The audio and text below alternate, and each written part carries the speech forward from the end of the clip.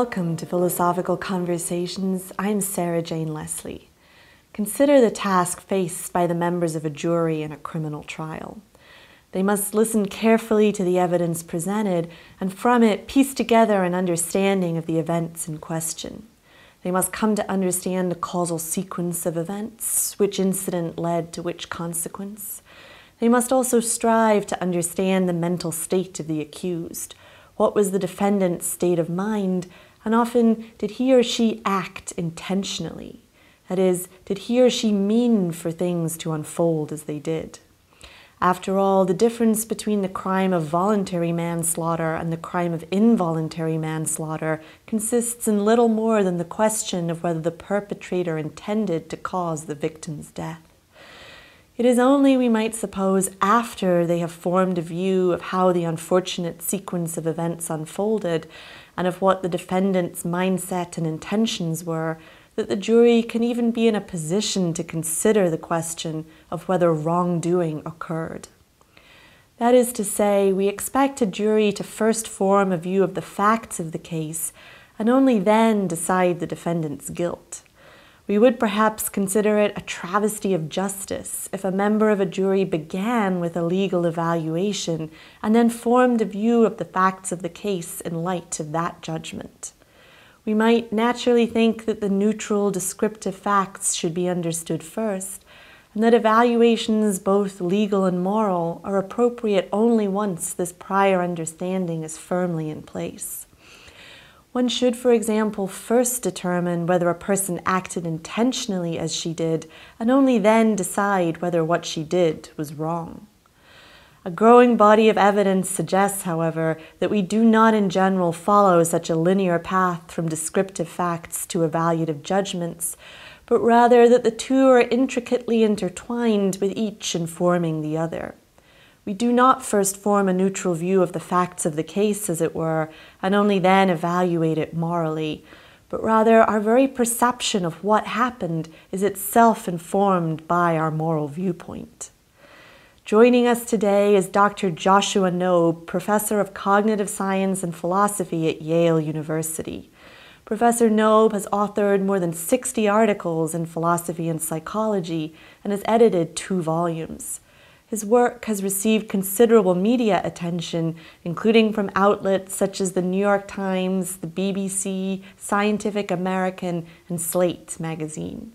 Along with his collaborators, he has produced an extremely impressive body of evidence that reflects how our seemingly neutral perceptions of the world are often, unbeknownst to us, informed by our moral evaluations. So maybe we could begin with you giving us an example of how our attributions of intentional action are affected by our evaluative judgments. Sure. So let's consider a case that comes in two different versions. so we'll start with the first version. So imagine the vice president of a company goes to the chairman of the board and he says, okay, we've got this new policy. It's going to make huge amounts of money for the company, but it's also going to harm the environment.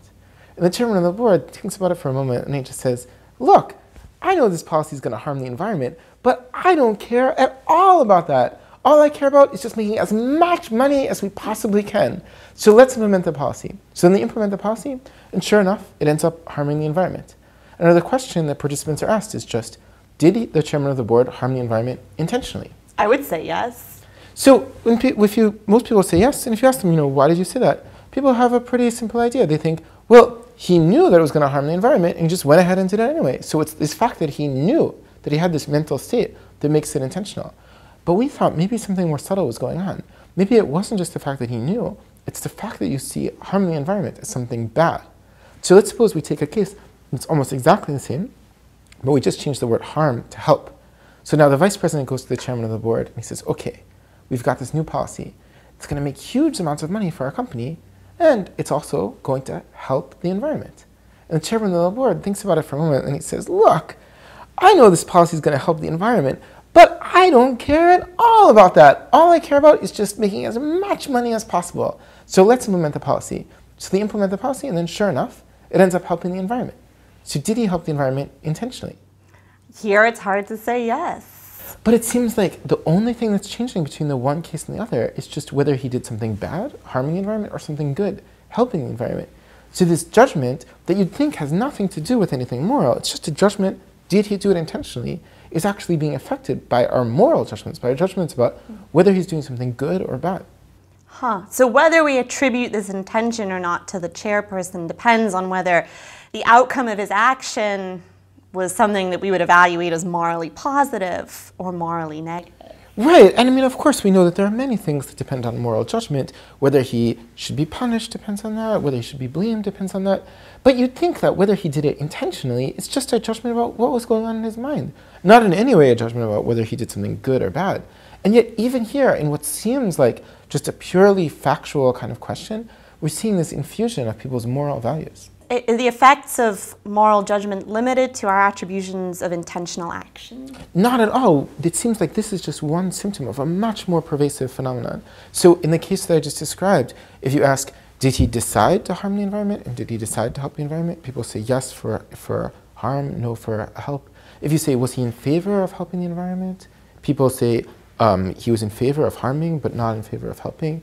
And if you consider other cases that don't have anything to do with people's psychological states in the way that intending or deciding or being in favor or do, you see all these same kind of phenomena arising, even outside the domain of psychology. Hmm, so, what would be an example of that? Well, consider, for example, our judgments about whether or not something is innate. So, we think that certain traits that we have are innate and others are in some way acquired from the environment. If you ask people, you know, how you make those judgments, people think it maybe it has something to do with statistics or something about the mechanism, something purely scientific. But we thought, even in that kind of case, you could see people's moral judgments actually playing a role. So consider again two different cases. So one, imagine there's this trait. It's called trait X. And now people, scientists have discovered this funny fact about trait X. It turns out that people's genes are such that as long as their parents treat them decently sometimes, they're going to develop trait X. But everyone's parents treat them decently at least sometimes, so everyone develops trait X. Okay, here's the question. Is trait X innate? So the manifestation of this trait is caused by, on the one hand, a genetic component, but also it has an environmental prerequisite. And further, everyone has the genetic component, and everyone also experiences the environmental trigger. Mm -hmm. And so, what do people say in that case? The vast majority of people say it's innate. And in fact, if you ask scientists, if you talk to, if when we did the study on biologists, on linguists, mm -hmm. on mm-hmm. psychologists, they also tend to say that it's innate. And for exactly the reasons that you suggested, they say, well, you can tell that it's innate because it involves this genetic factor, also an environmental factor, but an environmental factor that's always present, mm-hmm. present invariantly. That's just kind of the background condition that allows the genetic factor to sort of manifest itself. And so that would be one scenario, but is there a contrast case? Yeah, so imagine a, a case that's almost exactly the same, except for, again, we're just going to change one word. So imagine there's this trait, it's called trait X, and people's genes are such that they'll develop trait X as long as their parents treat them badly sometimes. But everyone's parents treat them badly at least sometimes, so everyone develops trait X. Now, is trait X innate? Hmm. So what would you say, what's your intuition in that case? I think I can definitely feel the pull there towards saying that trait X is not innate. It doesn't seem so clearly innate as in the other case, even though we've specified that everyone's parents treat them at sometimes decently, but in other times harshly. Even though these background conditions are the same, it does seem that there there's a pull towards giving a different kind of answer to that case. Is, is that what people do? Exactly. In the first case, people kind of feel like it's your genes that are giving you the trait, and then the nice treatment from your parents is just this background condition that makes it possible for the genes to have their effect. In the case in which the parents are treating you badly, it's the reverse. People feel like your genes are just such that your parents treating you badly kind of causes this trait to appear. And it's really your environment, the bad treatment on the part of the parents that's causing the trait to appear. So here we've just talked about two different examples, mm-hmm. doing things intentionally, being innate. But these examples are just two examples out of a whole plethora. As people continue working on this, they find more and more cases in which a, a, a question that seems to be a purely factual question can actually be influenced by people's moral values. What about our understanding of what we might think of as more physical events? For example, what event caused which other event? Would you see that same influence there, or is that something that's maybe screened off from these kinds of effects? Even in the case of just judgments about whether one thing caused another, you see that exact same effect happening. So, for example, suppose we tell people about a philosophy department where the, the receptionist desk has a whole set of pens on it. And now the receptionist tells people administrative assistants are allowed to take the pens, but faculty members are not supposed to take the pens. They're supposed to get their own. Faculty members just keep taking the pens though, so the the receptionist just keeps sending them these like ever more insistent emails. Guys, stop it! Don't take these pens. They're only for the administrative assistants. So now imagine that one day, Professor Smith and the administrative assistant both walk past the desk and they each take a pen. And now there's a problem. There's no pens left on the desk. So who caused the problem? Was it the administrative assistant? Was it Professor Smith? In a case like that, people say the administrative assistant didn't cause the problem, but Professor Smith did cause the problem, even though both of them did exactly the same thing and seemed to stand in exactly the same kind of relationship to the event that occurred. Now, as you're describing these cases, one thought that comes to my mind is Look, when a problem arises, say the administrative assistant being unable to, to take a message, or uh, more dramatically, if the environment is being harmed by some kind of action, well, look, we just really want to blame someone mm-hmm. for this. We really want to say, here's the culprit, here's the wrongdoer, here's the person that deserves to be blamed and chastised. Do you think that that's um, just what's underlying these judgments, that we are maybe motivated to find someone to blame, and as a result, we do everything we can to attribute, say, intentional action or, or attribute being the cause of the problem to um, the individual who is perhaps the most salient recipient of that kind of blame? You know, that's a really great hypothesis. And some people think that maybe it's the right one, that that's on the right track. But there's been a whole bunch of experiments designed to test that hypothesis. And my sense is that overall they're pointing toward the view no, that it's not due to that. So a really nice example is an experiment that was done by the great psychologist Liane Young. She was interested in this exact idea, and she thought maybe one way to test it is to look at people who show a kind of deficit in this kind of emotional response. So you and I, if we heard this kind of story about someone who callously hurts the, uh, the environment, we might just get kind of upset about it. But what if we look at other people who don't feel that way? Are they going to still show the same kind of effect? So Young turned to um, participants who had damage to the ventromedial prefrontal cortex. So this is this brain region that is really involved in sort of integrating emotion into people's decision making. So people who have damage to this brain region, if you ask them some question in which you and I would show an effective emotion, often they won't. But they still showed exactly the same response that you and I would show in these cases. In fact, 100% of these patients said that he harmed the environment intentionally. Hmm. So, as just one example among many, that just seems to provide at least some evidence that what's going on in this case among normal participants isn't that their view is just being clouded by emotion, because those people don't show this kind of effect in other kinds of cases still do show this effect. But now, maybe being mad and therefore wanting to blame something is one thing. And so I can see how that experiment would tell against that hypothesis. But is it clear that people who have damage to this brain, brain region wouldn't nonetheless want to maybe blame someone, even if they're not having an effective response. Do you know, that's a great response. And in fact, that's the exact response the defenders of this kind of blame hypothesis gave to Young's original study and to other studies along that line. So, for example, Abigail Marsh ran a study in which she looked at psychopaths and their judgments about these cases. Psychopaths, again, show the same effect as normals. But defenders of this blame hypothesis could say, you know, psychopaths don't have the same emotional reaction, they still want to blame people. But let's consider a very different kind of case. So, let's consider uh, what would happen if we looked at people's causal judgments about an outcome that's good so suppose we just change the case I gave you earlier about um, Professor Smith and administrative assistant each taking a pen. So the outcome turned out to be something good. For example, suppose that the receptionist had always wanted to kill the chairman of the department. So what she was going to do is just take the, one of these pens and stab her eye out. So with the with the pen. So there's the chair. She's just innocent, innocently in her office. The receptionist is thinking of like wielding this pen and stabbing her eye out. Now, Professor Smith and the administrative assistant each walk by. The administrative assistant is allowed to take pens. Professor Smith's not allowed to. They both take a pen, and then this wonderful thing happens. The chair's life is saved. So, who saved her life? Was it the administrative assistant doing exactly what she was supposed to do?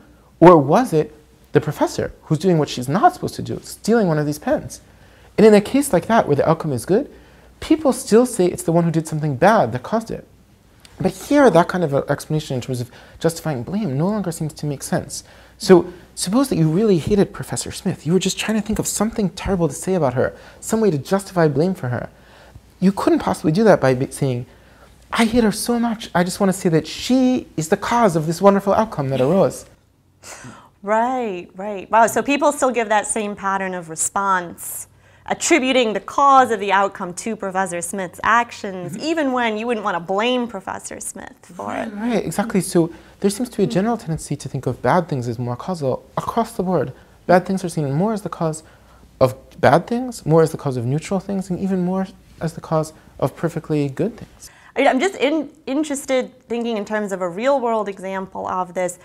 Sometimes, if, for example, one's discussing whether having both parents work outside of the home has negative effects on the child. And um, I'm not sure that this is at all supported by the evidence, but let's just suppose that we find evidence that actually this was detrimental to the child. Very often, particularly maybe in more conservative circles, you hear discussion of how the mother working outside of the home caused the child to, say, have behavioral problems or fare less well in mm-hmm. school. And you very rarely hear discussion of the fathers working outside of the home being the cause of the child's um, difficulties. Do you think that that fits the same framework? Right, exactly. So when you first hear that, that fact, you might think, well, these conservatives are just failing to see that what, the, what, a, what is really a factual question for what it is. They're allowing their values to kind of intrude. But I think the opposite is the case you might think that the conservatives' values are just mistaken, and for that reason you think they're wrong in this causal judgment. But you shouldn't think that this question that they're asking is fundamentally not a purely factual question, and it's just this weird yeah. fact about them, their values intrude. Rather, both conservatives and liberals are allowing their values to intrude in these kinds of cases. It's just that they have opposite values. And so, in this kind of case, probably you reach the opposite judgment from the one that they would. So, we might criticize the values here, the value that um, it's the woman's duty and not the man's duty to be the person who, say, sacrifices career for children. We might attack that particular stance, but we wouldn't want to criticize people just on the grounds that they let some or other value influence these sorts of judgments. I think that the question fundamentally is a question of value. The thing that conservatives maybe are getting wrong in this case mm-hmm. is just they're wrong about the right role that women should have. There's actually a really interesting experiment by Pete Ditto and colleagues on this topic, and they just decided to look at people's judgments about the Iraq War. So, in one condition, participants were told sometimes American soldiers want to bomb the um, Iraqi insurgents, but they know that there are other innocent Iraqis who are just around, and those innocent Iraqis are going to be killed as well. They're not trying to kill them, but they're aware that's going to happen. So, did the Americans kill the innocent Iraqis intentionally? By contrast, in the other case, people just get the reverse story. The Iraqi insurgents are trying to bomb the American soldiers, but they realize there are other innocent Americans who are just going around. They're not trying to kill those Americans, they just know they're going to be killed if they kill the soldiers. So did the Iraqis kill the other Americans intentionally? So then this experiment has been tried on liberals and on conservatives. So what conservatives tend to say is this. The Americans killed the innocent Iraqis unintentionally, but the Iraqis killed the innocent Americans intentionally. By contrast, the liberals show the reverse kind of judgment. They tend to say the Americans killed the innocent Iraqis intentionally, but the Iraqis killed the innocent Americans unintentionally. Wow. Huh. So that would again have to do with the background evaluative judgment that these two groups are making, presumably having to do with whether they think, say, the war in Iraq is justified, um, whether it's something that ought to have taken place. Right, so it seems like our judgments about whether someone brought about these kinds of effects intentionally aren't sort of prior to our value judgments. They're, as it were, downstream from our value judgments. They're coming after our judgments about whether the war itself is actually a justified war. Now, I'm just wondering how much this may have to do with the language that we're using, particularly this idiom of act intentionally. I'm thinking that there's a phenomenon that's often known as pragmatics, whereby uh, we may uh, assert or communicate rather more than our words literally mean. So, as one illustration of this, suppose that it's incredibly hot outside. Suppose it's 100 degrees out there and someone asks, What's the weather like today? And suppose I say, It's warm. Now, that may be perhaps literally true. If something is hot, if a day is hot, then it's also going to be a day that's warm. Mm-hmm. You can't be hot without also being warm, as it were. But there's something misleading about what I said. Mm-hmm. And philosophers of language often talk about this as a pragmatic implicature. Uh, even if my words uh, didn't semantically mean that it couldn't also be hot, in a conversational context, it would be inappropriate uh, to describe such a hot day as just simply being a warm day. So I wonder if I, if an alternative account could be formulated along these lines, perhaps when we say the CEO acted intentionally to harm the environment, we're maybe not literally, semantically speaking, attributing this intention to him, but we're, as it were, flagging him in the conversational context as being an object of blame there. So this wouldn't be a matter of us being motivated to attribute blame, but rather wanting in the conversational context to communicate that this is the person to be blamed. You know, that's also a really great hypothesis, and also one that a number of people think actually might be on the right track. But again, it's one that I think the evidence is pointing against. So, one really recent study that seems to point against it was something by the cognitive psychologist Tiziana Zalla. What she did was to try this exact same study that we've been talking about, but on a population that really has an impairment in understanding these issues, an impairment in understanding conversational pragmatics. So, in particular, she looked at people with a high functioning form of autism, namely with Asperger's disorder.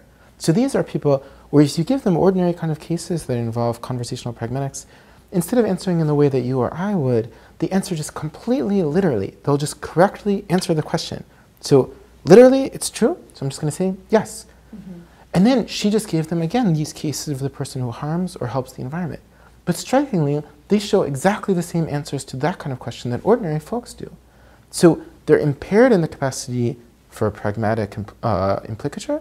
They show exactly the same response on this particular question. So an inference you might make is maybe our, the ordinary response people give on that case isn't due to our ability to understand pragmatic implicatures. Mm-hmm. Now, young children, preschoolers, uh, are often similarly unable to understand pragmatic inference. They don't show the, the same understanding of um, what's called scalar implicature, which would be of the form I just gave. If it's warm, that implicates that it's not hot. Preschool children don't show a sensitivity in the same way as adults do to that sort of phenomenon. Uh, I wonder if these sorts of experiments would work on preschoolers. You know, oddly enough, your father did an experiment on that exact topic.